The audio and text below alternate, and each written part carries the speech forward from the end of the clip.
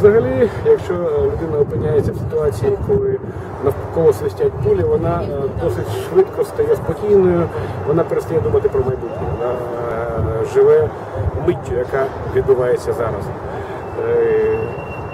Моє побажання не думати про погане, думати про хороше, що і готуватися до війни.